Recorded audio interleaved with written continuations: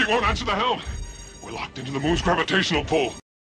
What are we supposed to do though when this is mankind today? What do we do?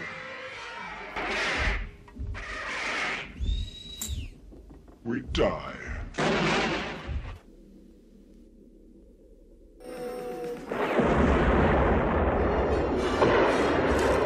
Later, biatch!